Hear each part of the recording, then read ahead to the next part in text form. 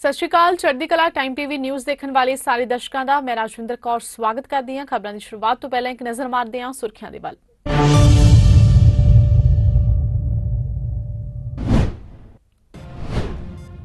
ਅਜਨਾਲਾ 'ਚ ਰੇਤ ਮਾਫੀਆ ਬੇਖੌਫ, ਜੰਗਲਾਤ ਮਹਿਕਮੇ ਦੀ ਜ਼ਮੀਨ ਤੇ ਜ਼ੋਰਾਂ ਨਾਲ ਹੋ ਰਹੀ ਹੈ ਨਜਾਇਜ਼ ਮਾਈਨਿੰਗ।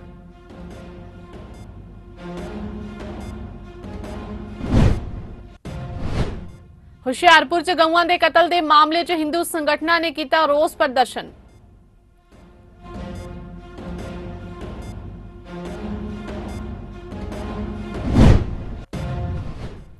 ਪਟਿਆਲਾ ਦੇ ਰੋੜੀਕੁੱਟ ਮੁਹੱਲੇ 'ਚ ਪੁਲਿਸ ਨੇ ਦਿੱਤੀ ਅਚਨਚੇਤ ਦਬਿਸ਼ ਨਸ਼ਾ ਤਸਕਰੀ ਦੀ ਸੂ ਲੱਗਣ ਤੇ ਘਰਾਂ ਦੀ ਕੀਤੀ ਤਲਾਸ਼ੀ।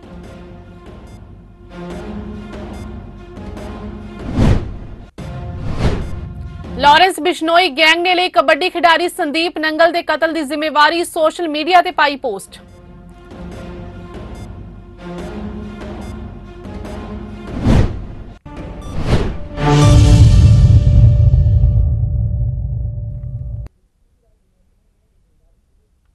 ਅਤੇ ਹੁਣ ਖਬਰਾਂ ਵਿਸਥਾਰ ਦੇ ਨਾਲ। ਕੌਮਾਂਤਰੀ ਕਬੱਡੀ ਖਿਡਾਰੀ ਸੰਦੀਪ ਨੰਗਲ ਅੰਬੀਆਂ ਦੇ ਕਤਲ ਮਾਮਲੇ ਵਿੱਚ ਵੱਡਾ ਅਪਡੇਟ ਸਾਹਮਣੇ ਆਇਆ ਇਸ ਦੌਰਾਨ ਲਾਰੈਂਸ ਬਿਸ਼ਨੋਈ ਗਰੁੱਪ ਨੇ ਕੌਮਾਂਤਰੀ ਕਬੱਡੀ ਖਿਡਾਰੀ ਸੰਦੀਪ ਨੰਗਲ ਅੰਬੀਆਂ ਦੇ ਕਤਲ ਦੀ ਜ਼ਿੰਮੇਵਾਰੀ ਲਈ ਹੈ। ਲਾਰੈਂਸ ਬਿਸ਼ਨੋਈ ਗਰੁੱਪ ਨੇ ਸੋਸ਼ਲ ਮੀਡੀਆ ਤੇ ਇੱਕ ਪੋਸਟ ਪਾ ਕੇ ਲਿਖਿਆ ਸੰਦੀਪ ਨੰਗਲ ਅੰਬੀਆਂ ਨੂੰ ਨਰਕ ਵੱਲ ਅਸੀਂ ਹੀ ਭੇਜਿਆ ਤੇ ਇਸ ਦਾ ਕਸੂਰ ਇਹ ਸੀ ਕਿ ਇਸ ਨੇ ਸਾਡੇ ਗਰੁੱਪ ਨਾਲ ਧੋਖਾ ਕਰਦੇ ਹੋਏ ਆਪਣਾ ਕਢਵਾ ਕੇ ਪਹਿਲਾਂ ਲਾਰਾ ਲਗਾ ਕੇ ਰੱਖਿਆ ਤੇ ਫਿਰ ਵਿਦੇਸ਼ ਭੱਜ ਗਿਆ ਕਿਉਂਕਿ ਹੁਣ ਇਸ ਦਾ ਮਰਨਾ ਜ਼ਰੂਰੀ ਸੀ। ਦੱਸਣਯੋਗ ਹੈ ਕਿ ਸੋਮਵਾਰ ਸ਼ਾਮ ਨੂੰ ਜਲੰਧਰ ਦੇ ਪਿੰਡ ਮੱਲੀਆਂ 'ਚ ਚੱਲ ਰਹੇ ਕਬੱਡੀ ਟੂਰਨਾਮੈਂਟ ਦੌਰਾਨ ਦੋ ਦਰਜਨ ਤੋਂ ਵੱਧ ਨੌਜਵਾਨਾਂ ਨੇ ਇੰਟਰਨੈਸ਼ਨਲ ਕਬੱਡੀ ਖਿਡਾਰੀ ਸੰਦੀਪ ਸਿੰਘ ਨੰਗਲ ਦਾ ਗੋਲੀਆਂ ਮਾਰ ਕੇ ਕਤਲ ਕਰ ਦਿੱਤਾ ਸੀ। ਸੰਦੀਪ ਕੈਨੇਡਾ ਦਾ ਨਿਵਾਸੀ ਸੀ ਜਿਨ੍ਹਾਂ ਦੇ ਸਿਰ 'ਚ ਗੋਲੀ ਮਾਰ ਕੇ ਉਸ ਦਾ ਕਤਲ ਕੀਤਾ ਗਿਆ। ਉਸ ਹਾਦਸੇ ਦੀ ਵੀਡੀਓ ਸੋਸ਼ਲ ਮੀਡੀਆ ਤੇ ਤੇਜ਼ੀ ਨਾਲ ਵਾਇਰਲ ਹੋ ਰਹੀ ਹੈ। ਜ਼ਿਕਰਯੋਗ ਹੈ ਕਿ ਬੀਤੇ ਕੱਲ ਨਗੋਤਰ ਦੇ ਪਿੰਡ ਮੱਲੀਆਂ ਵਿਖੇ ਕਬੱਡੀ ਕੱਪ ਟੂਰਨਾਮੈਂਟ ਮਸ਼ਹੂਰ ਕਬੱਡੀ ਖਿਡਾਰੀ ਸੰਦੀਪ ਨੰਗਲ ਅੰਬੀਆ ਨੂੰ ਇਸ ਦੌਰਾਨ ਟੂਰਨਾਮੈਂਟ ਦੇ ਦੌਰਾਨ ਗੋਲੀ ਮਾਰ ਦਿੱਤੀ ਗਈ ਸੀ। ਜਾਣਕਾਰੀ ਦੇ ਅਨੁਸਾਰ ਖਿਡਾਰੀ ਸੰਦੀਪ ਨੂੰ ਹਸਪਤਾਲ ਲੈ ਗਏ ਸਨ, ਪਰ ਉੱਥੇ ਉਸ ਦੀ ਮੌਤ ਹੋ ਗਈ। ਇਸ ਦੇ ਨਾਲ ਹੀ ਹਮਲਾਵਰ ਵਾਰਦਾਤ ਨੂੰ ਅੰਜਾਮ ਦੇ ਕੇ ਮੌਕੇ ਤੋਂ ਫਰਾਰ ਹੋ ਗਏ ਸਨ। ਦੱਸਿਆ ਜਾ ਰਿਹਾ ਹੈ ਕਿ ਹਮਲਾਵਰ ਸਫੇਦ ਰੰਗ ਦੀ ਸਵਿਫਟ ਕਾਰ ਵਿੱਚ ਆਏ ਸਨ ਤੇ ਸੰਦੀਪ ਤੇ ਹਮਲਾ ਕਰਕੇ ਫਰਾਰ ਹੋ ਗਏ ਸਨ।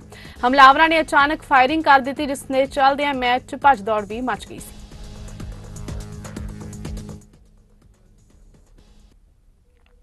ਬੀਤੇ ਕੱਲ ਸੁਜਾਨਪੁਰ ਪੁਲਿਸ ਨੇ ਮਾਈਨਿੰਗ ਵਿਭਾਗ ਦੀ ਸ਼ਿਕਾਇਤ ਤੇ ਕਾਰਵਾਈ ਕਰਦੇ ਅਮਿਤ ਸ਼ਰਮਾ ਤੇ ਉਸਦੇ ਭਰਾ ਦੇ ਖਿਲਾਫ ਮਾਮਲਾ ਦਰਜ ਕਰ ਦਿੱਤਾ ਹੈ। ਇੱਥੇ ਜ਼ਿਕਰਯੋਗ ਹੈ ਕਿ ਅਮਿਤ ਸ਼ਰਮਾ ਸੁਜਾਨਪੁਰ ਦੇ ਵਿਧਾਇਕ ਨਰੇਸ਼ਪੁਰੀ ਦੇ ਨਜ਼ਦੀਕੀਆਂ ਵਿੱਚੋਂ ਨੇ ਤੇ ਪੁਲਿਸ ਦੀ ਇਸ ਕਾਰਵਾਈ ਦੇ ਵਿਰੁੱਧ ਨਰੇਸ਼ਪੁਰੀ ਨੇ ਆਪਣੇ ਸਾਥੀਆਂ ਦੇ ਨਾਲ ਸੁਜਾਨਪੁਰ ਥਾਣੇ ਦੇ ਬਾਹਰ ਰੋਸ ਪ੍ਰਦਰਸ਼ਨ ਕੀਤਾ।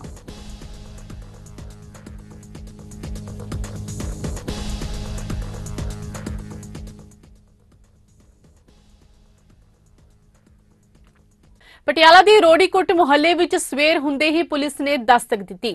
ਪੁਲਿਸ ਵੱਲੋਂ ਹਰ ਘਰ ਦੀ ਬਰੀਕੀ ਨਾਲ ਜਾਂਚ ਕੀਤੀ ਗਈ। ਜਾਣਕਾਰੀ ਦੇ ਅਨੁਸਾਰ ਨਸ਼ਿਆਂ ਖਿਲਾਫ ਕਾਰਵਾਈ ਕਰਨ ਨੂੰ ਲੈ ਕੇ ਪੁਲਿਸ ਕਾਫੀ ਸਤਰਕ ਨਜ਼ਰ ਆ ਰਹੀ ਹੈ। ਇਸੇ ਕਾਰਨ ਪੁਲਿਸ ਉਹਨਾਂ ਜਗ੍ਹਾ ਤੇ ਛਾਪੇਮਾਰੀ ਕਰ ਰਹੀ ਹੈ, ਜਿਨ੍ਹਾਂ ਉੱਤੇ ਪੁਲਿਸ ਨੂੰ ਸੰਦੇਹ ਹੁੰਦਾ ਹੈ ਕਿ ਇੱਥੇ ਦੇ ਲੋਕ ਕਥਿਤ ਨਸ਼ੇ ਦੀ ਤਸਕਰੀ ਨਾ ਕਰ ਰਹੇ ਹੋਣ। ਇਸੇ ਕਾਰਨ ਸਵੇਰੇ ਹੀ ਪੁਲਿਸ ਵੱਲੋਂ ਦਬਿਸ਼ ਕਰ ਹਰ ਘਰ ਦੀ ਤਲਾਸ਼ੀ ਲਈ ਗਈ।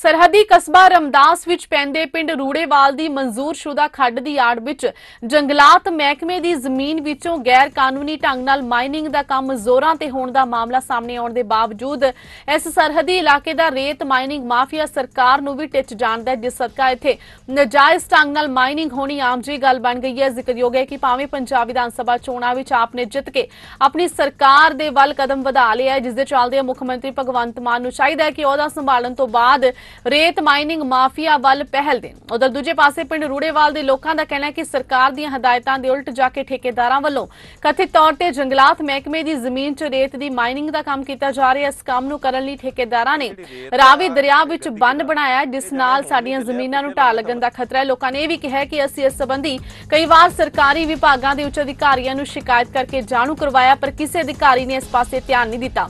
ਲੋਕਾਂ ਦਾ ਕਹਿਣਾ ਹੈ ਕਿ ਅਜਿਹਾ ਹੋਣ ਕਰਕੇ ਸਰਕਾਰੀ ਨਿਯਮਾਂ ਦੀਆਂ ਜਿੱਥੇ ਠੇਕੇ ਠੇਕੇਦਾਰ ਸ਼ਰੀਆਮ ਧੱਜੀਆਂ ਉਡਾ ਰਹੇ ਨੇ। ਉਥੇ ਨਾਲ ਹੀ ਰੇਤ ਦੇ ਓਵਰਲੋਡ ਟਰੱਕ ਤੇ ਟਰਾਲੀਆਂ ਵੀ ਪਿੰਡ ਵਿੱਚੋਂ ਸ਼ਰੀਆਮ ਲੰਘਦੀਆਂ ਨੇ, ਜਿਸ ਨਾਲ ਕਿਸੇ ਵੇਲੇ ਵੀ ਕੋਈ ਜਾਨੀ ਹਾਦਸਾ ਹੋ ਸਕਦਾ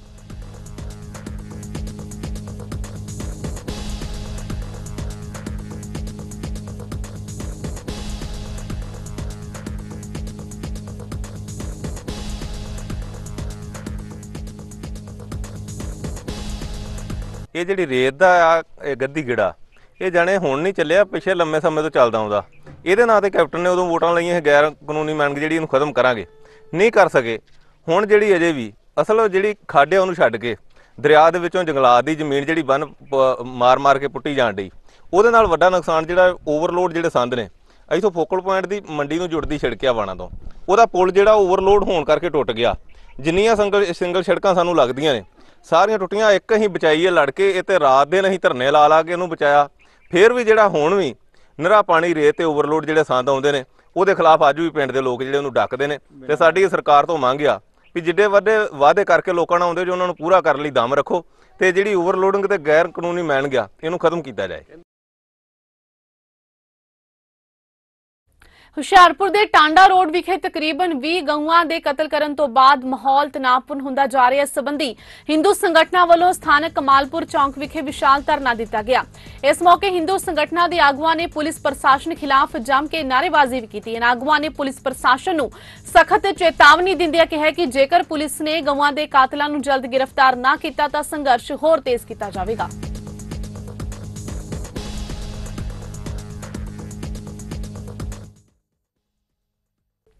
ਅਕਾਲ ਪੁਰਖ ਦੀ ਫੌਜ ਵੱਲੋਂ ਸਿੱਖ ਵਾਤਾਵਰਣ ਦਿਵਸ ਨੂੰ ਮਨਾਉਂਦਿਆਂ ਸ੍ਰੀ ਦਰਬਾਰ ਸਾਹਿਬ ਦੇ ਆਲੇ ਦੁਆਲੇ ਦੀਆਂ ਰਿਹਾਇਸ਼ ਗਾਹਾਂ ਦੀਆਂ ਛੱਤਾਂ ਤੇ ਬੂਟਿਆਂ ਵਾਲੇ ਗਮਲੇ ਰੱਖਣ ਦੀ ਮੁਹਿੰਮ ਸ਼ੁਰੂ ਕੀਤੀ ਗਈ, ਜਿਸ ਵਿੱਚ ਵਾਤਾਵਰਣ ਦੀ ਸ਼ੁੱਧਤਾ ਨੂੰ ਕਾਇਮ ਰੱਖਣ ਲਈ ਸ੍ਰੀ ਦਰਬਾਰ ਸਾਹਿਬ ਦੇ ਨਜ਼ਦੀਕ ਹੋਟਲ ਅੰਮ੍ਰਿਤਸਰ ਰੈਜ਼ੀਡੈਂਸੀ ਦੀ ਛੱਤ ਤੇ ਗਮਲੇ ਰੱਖੇ ਗਏ ਸੰਸਥਾ ਦੇ ਆਗੂ ਐਡਵੋਕੇਟ ਜਸਵਿੰਦਰ ਸਿੰਘ ਨੇ ਕਿਹਾ ਕਿ ਦਰਬਾਰ ਸਾਹਿਬ ਦੇ ਆਲੇ ਦੁਆਲੇ ਦੀਆਂ ਇਮਾਰਤਾਂ ਦੀਆਂ ਛੱਤਾਂ ਤੇ 1000 ਗਮਲੇ ਰੱਖੇ ਜਾਣਗੇ।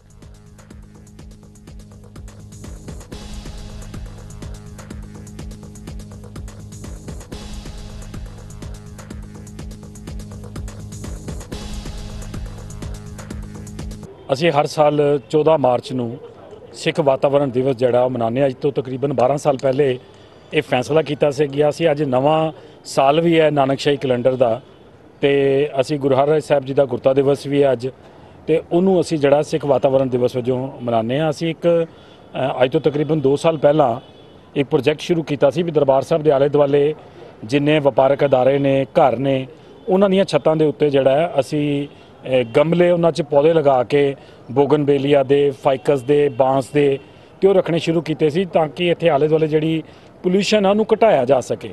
ਉਹਦੇ ਲਈ ਉਸ ਪ੍ਰੋਜੈਕਟ ਨੂੰ ਅੱਗੇ ਤੋਰਦਿਆਂ ਅਸੀਂ ਜਿਹੜਾ ਅੱਜ ਦਰਬਾਰ ਸਾਹਿਬ ਦੇ ਜਿਹੜੇ ਪਿਛਲੇ ਬਨੇ ਸਲਾਮ ਵਾਲੇ ਪਾਸੇ ਹੋਟਲ ਅੰਮ੍ਰਿਤਸਰ ਏਜੰਸੀ ਦੀ ਛੱਤ ਦੇ ਉੱਤੇ ਜਿਹੜੇ ਆ ਗਮਲੇ, ਇਸ ਬਾਈ ਲਈ ਰੱਖਣੇ ਸ਼ੁਰੂ ਕੀਤੇ ਨੇ। ਅੱਗੇ ਗੁਰੂ ਹਰਕ੍ਰਿਸ਼ਨ ਸਕੂਲ ਤੇ ਰੱਖੇ ਨੇ। ਬਾਬਾ ਜਗਤਾਰ ਸਿੰਘ ਜੀ ਦੀ ਸਰਾਂ ਇੱਥੇ, ਬੰਬੇ ਵਾਲੀ ਸਰਾਂ ਜਿਹਨੂੰ ਕਹਿੰਦੇ ਨੇ, ਉਹਦੇ ਤੇ ਪੌਦੇ ਰੱਖੇ ਨੇ। ਤੇ ਸਾਡਾ ਇਹ ਆਉਣ ਵਾਲੇ ਦਿਨਾਂ 'ਚ ਹੁਣ ਇਹ ਲਗਾਤਾਰ ਬਰਸਾਤਾਂ ਤੱਕ ਇਹ ਪ੍ਰੋਜੈਕਟ ਜਿਹੜਾ ਚੱਲਦਾ ਰਹਿਣਾ। ਨੰਗਲ ਦੇ ਪਿੰਡ ਬਰਾੜੀ ਦੇ ਨੇੜੇ ਸਤਲੁਜ ਦਰਿਆ ਤੇ ਅਸਥਾਈ ਪੁਲ ਬਣਾਉਣ ਲਈ ਪ੍ਰਸ਼ਾਸਨ ਦੇ ਹੱਥ ਪੈਰ ਫੁੱਲ ਗਏ ਸਨ। ਤੇ ਪ੍ਰਸ਼ਾਸਨ ਦੇ ਵੱਲੋਂ ਨਿਰਮਾਣ ਕਾਰਜ ਜਦ ਵਿਚਾਲੇ ਹੀ ਛੱਡ ਦਿੱਤਾ ਗਿਆ ਸੀ, ਉਸੇ ਅਸਥਾਈ ਪੁਲ ਨੂੰ ਆਖਿਰਕਾਰ ਟਰੱਕ ਯੂਨੀਅਨ ਨੰਗਲ ਦੇ ਚਾਲਕਾਂ ਨੇ ਲੋਕਾਂ ਨੂੰ ਚੰਦਾ ਇਕੱਠਾ ਕਰਕੇ ਬਣਾ ਦਿੱਤਾ ਹੈ ਤੇ ਨਗਰ ਨਿਗਮ ਨੂੰ ਆਈਨਾ ਦਿਖਾ ਦਿੱਤਾ ਹੈ। ਇਸ ਅਸਥਾਈ ਪੁਲ ਦੇ ਨਿਰਮਾਣ ਨਾਲ ਲੋਕਾਂ ਨੂੰ ਖਾਸ ਕਰ ਟਰੱਕ ਆਪਰੇਟਰਾਂ ਤੇ ਹੋਲਾ ਮਹੱਲਾ ਤੇ ਆਉਣ ਵਾਲੀਆਂ ਸੰਗਤਾਂ ਨੂੰ ਨੰਗਲ ਡੈਮ ਤੇ ਲੱਗਣ ਵਾਲੇ ਲੰਬੇ ਲੰਬੇ ਜਾਮਾਂ ਤੋਂ ਰਾਹਤ ਮਿਲੇਗੀ। ਫਿਲਹਾਲ ਇਸ ਅਸਥਾਈ ਪੁਲ ਤੋਂ ਖਾਲੀ ਵਾਹਨਾਂ ਤੇ ਸਕੂਲੀ ਬੱਸਾਂ ਤੋਂ ਇਲਾਵਾ ਦੋ ਪਹੀਆ ਵਾਹਨਾਂ ਨੂੰ ਲੰਘਣ ਦੀ ਇਜਾਜ਼ਤ ਹੋਵੇਗੀ।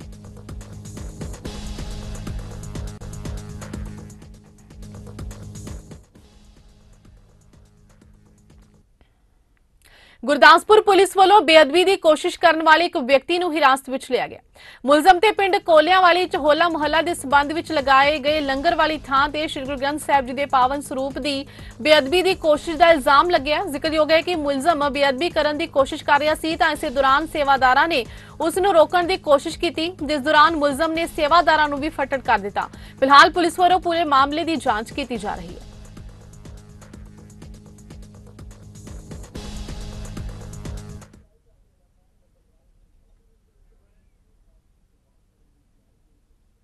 ਜਗਰਾਉਂ ਦੀ ਗ੍ਰੀਨ ਮਿਸ਼ਨ ਟੀਮ ਪਿਛਲੇ ਕਈ ਸਾਲਾਂ ਤੋਂ ਰੁੱਖ ਲਾਓ ਧਰਤੀ ਬਚਾਓ ਨਾਰੇ ਹੇਠ ਕੰਮ ਕਰ ਰਹੀ ਹੈ ਤੇ ਲੰਘੇ ਦਿਨ ਰਾਣੀ ਝਾਂਸੀ ਚੌਂਕ ਵਿਖੇ ਇੱਕ ਵੱਖਰੇ ਹੀ ਢੰਗ ਨਾਲ ਪ੍ਰਦਰਸ਼ਨ ਕਰਦੇ ਹੋਏ ਆਪਣੇ ਆਪ ਨੂੰ ਬਰਫ਼ ਦੀ ਸਿੱਲੀ ਉੱਪਰ ਖੜਾ ਕਰਕੇ ਗਲੇ 'ਚ ਫੰਦਾ ਪਾ ਕੇ ਸੰਦੇਸ਼ ਦੇਣ ਦੀ ਕੋਸ਼ਿਸ਼ ਕੀਤੀ ਕਿ ਜਿਵੇਂ ਜਿਵੇਂ ਗਰਮੀ ਵੱਧ ਰਹੀ ਹੈ ਉਸੇ ਤਰ੍ਹਾਂ ਗਲੇਸ਼ੀਅਰ ਪਿਘਲ ਰਹੇ ਨੇ ਤੇ ਇਨਸਾਨ ਦੀ ਜਾਨ ਨੂੰ ਖਤਰਾ ਪੈਦਾ ਹੋ ਰਿਹਾ ਆਗੂਆਂ ਨੇ ਕਿਹਾ ਕਿ ਜੇਕਰ ਧਰਤੀ ਨੂੰ ਬਚਾਉਣਾ ਤਾਂ ਰੁੱਖ ਲਗਾਉਣੇ ਲਾਜ਼ਮੀ ਨੇ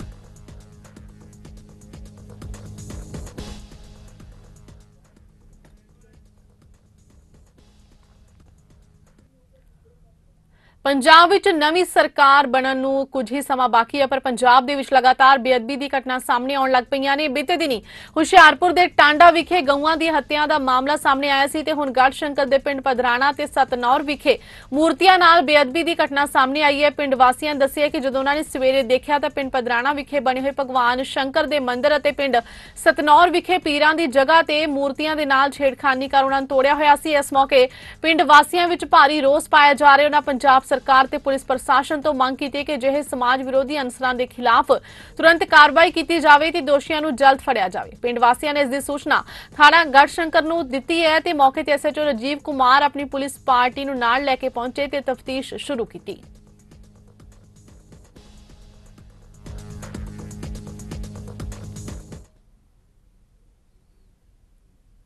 ਰਾਏਕੋਟ ਦੇ ਪਿੰਡ ਬਸੀਆਂ ਸਥਿਤ ਗੁਰਦੁਆਰਾ ਸ਼ਤਰੰਜਸਰ ਸਾਹਿਬ ਵਿੱਚ ਦਸ਼ਮ ਪਿਤਾ ਸਾਹਿਬ ਸ੍ਰੀ ਗੁਰੂ ਗੋਬਿੰਦ ਸਿੰਘ ਜੀ ਵੱਲੋਂ ਚਰਨ ਪਾਉਣ ਦੀ ਯਾਦ ਵਿੱਚ ਤਿੰਨ ਰੋਜ਼ਾ 99ਵਾਂ ਸਾਲਾਨਾ ਜੋੜ ਮੇਲਾ ਪ੍ਰਬੰਧਕ ਕਮੇਟੀ ਵੱਲੋਂ ਸਮੂਹ ਨਗਰ ਤੇ ਇਲਾਕੇ ਦੀਆਂ ਸੰਗਤਾਂ ਦੇ ਸਹਿਯੋਗ ਨਾਲ ਸ਼ਰਧਾ ਭਾਵਨਾ ਨਾਲ ਮਨਾਇਆ ਜਾ ਰਿਹਾ। ਜੋੜ ਮੇਲੇ ਦੇ ਪਹਿਲੇ ਦਿਨ ਸ੍ਰੀ ਗੁਰੂ ਗ੍ਰੰਥ ਸਾਹਿਬ ਜੀ ਦੀ ਛਤਰ ਛਾਇਆ। ਅਤੇ ਪੰਜ ਪਿਆਰਿਆਂ ਦੀ ਪਵਿੱਤਰ ਅਗਵਾਈ ਹੇਠ ਵਿਸ਼ਾਲ ਨਗਰ ਕੀਰਤਨ ਸਜਾਇਆ ਗਿਆ, ਜਦੋਂ ਕਿ ਦੂਸਰੇ ਦਿਨ ਕਰਵਾਏ ਵਿਸ਼ਾਲ ਧਾਰਮਿਕ ਸਮਾਗਮ ਦੌਰਾਨ ਢਾਡੀ ਤੇ ਕਵਿਸ਼ਰੀ ਦਰਬਾਰ ਸਜਾਏ ਗਏ, ਜਿਸ ਵਿੱਚ ਸਿੱਖ ਪੰਥ ਦੇ ਉੱਚ ਕੋਟੀ ਦੇ ਕਵਿਸ਼ਰੀ ਢਾਡੀ ਪ੍ਰਚਾਰਕਾਂ ਨੇ ਸੰਗਤਾਂ ਨੂੰ ਗੁਰ ਇਤਿਹਾਸ ਸੁਣਾ ਕੇ ਨਿਹਾਲ ਕੀਤਾ।